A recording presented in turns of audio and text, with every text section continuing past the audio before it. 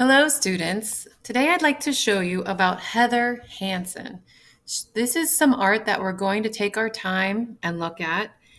I want you to slow down. I want you to key in and do close looking and observation.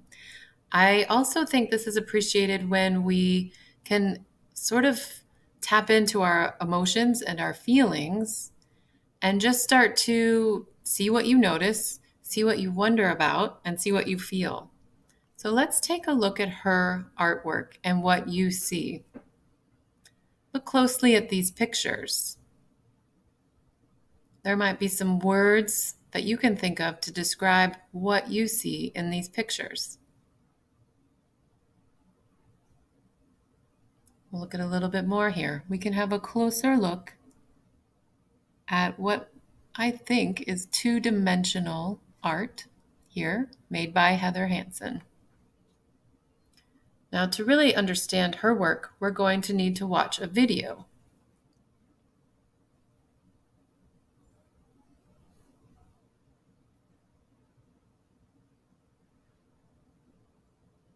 During this video, I want you to notice what are you seeing with your eyes? What are you wondering about? What questions do you have? And what are you feeling?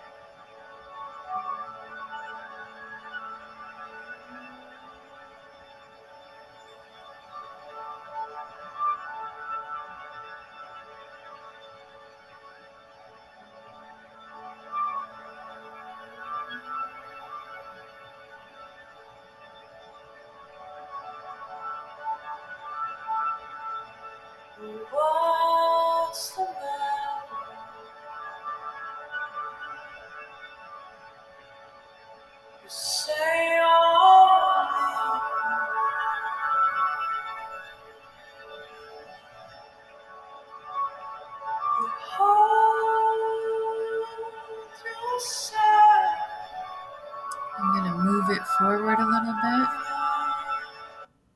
It's beautiful.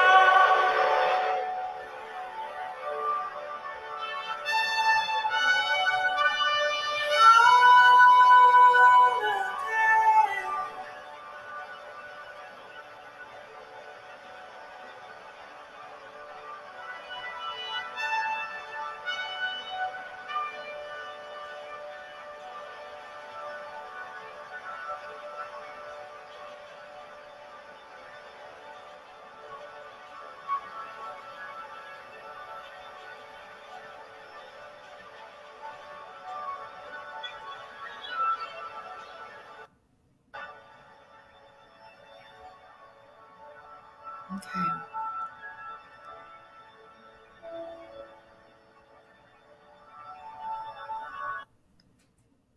All right. So there's a few words that I would like to go over that might connect with Heather Hansen's art for you. The first word is line, and we look at lines, we see lines all the time in our world, and it is simply a mark that is made between two points. And you know about a bunch of different kinds of lines vertical, horizontal, diagonal, curved, zigzag, straight. So when we think about the question, what did we see just now in the video? Maybe you can describe the kinds of lines that you saw being made. There's also the word shape in art, and it's a flat two dimensional area. So as soon as a line curves around and closes on itself, it creates a shape.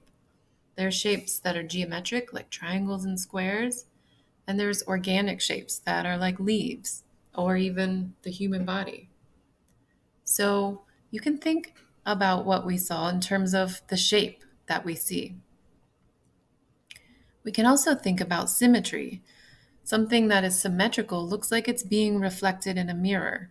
You might be able to think about the symmetry we saw in Heather Hansen's artwork and in her movements. Performance art is art that's created at a set time in front of an audience. So Heather Hansen's work is performed, and in the case of what we saw, it was recorded too.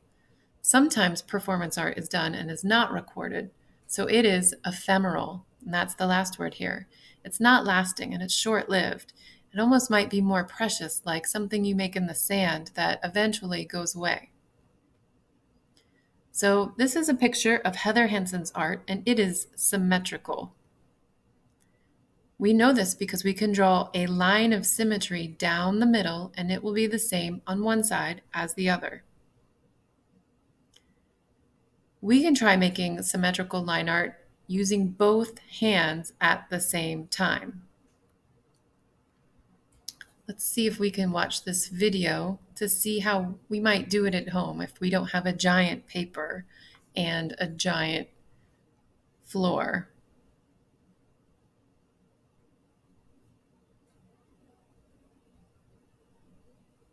Definitely using some tape or something heavy or a friend to stand on the corners so that the paper doesn't jiggle around.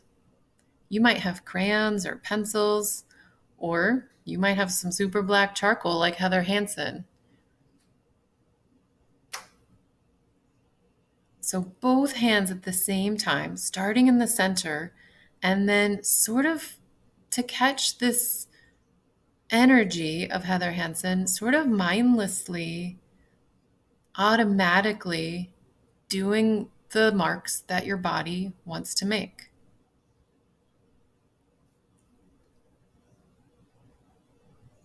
So I think you get the idea. You can do this with all kinds of different media, and you can do this in different sizes.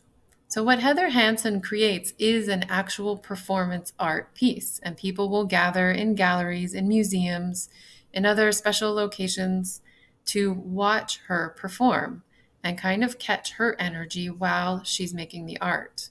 People will stare and slowly, patiently watch the entire performance. So we can think about a performance and her performances as ephemeral, something that lasts for a very short time. But on the flip side, there's some things that last beyond her ephemeral art. Maybe the videos we're watching here on the internet. Maybe the paper document, the paper record of what she has made. So, for this art project, you're going to think about how her whole body was being used and how your body moves differently when you feel different things. You can think about the basic emotions of happy and sad, and you can create your own symmetrical line drawing. You can play music that you like, or you can use some music that I will play at the end of this video you might go outside and find a nice place to do this project. I believe that this is just some dirt at like an old baseball diamond with some weeds growing over. Let's see if we can see how these people did symmetrical drawing on a large scale. This looks like two different people drawing together, although it might be one person. It's hard to tell with the shadows.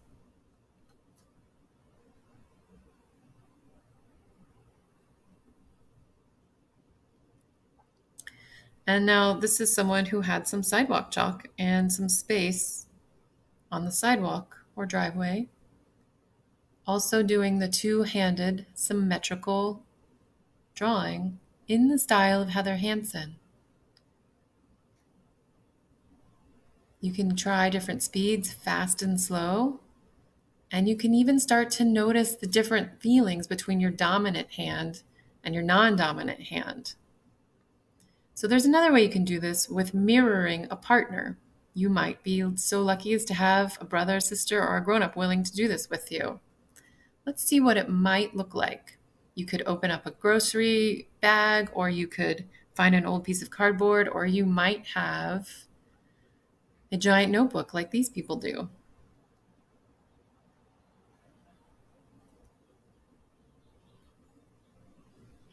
So each person has two drawing utensils. Both our dominant hand that you normally draw with, and our non-dominant the one we don't usually use. And I'm going to draw some lines, and then you're going to draw some lines, and then we're going to switch. We're using markers because we want you to to see in the video, but you can use pencil, sidewalk chalk, charcoal, whatever you have. We have taped down our sketchbook so it doesn't move. Let's get started. So just take care of this off.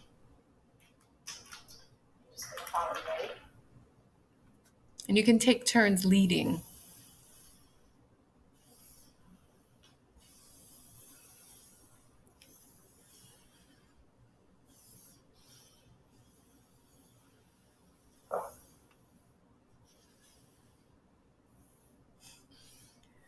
So I'll fast forward a bit and we can see how things end up. All right, let's see what that looks like um, all together. Can we take, can I take the tape off? Yeah.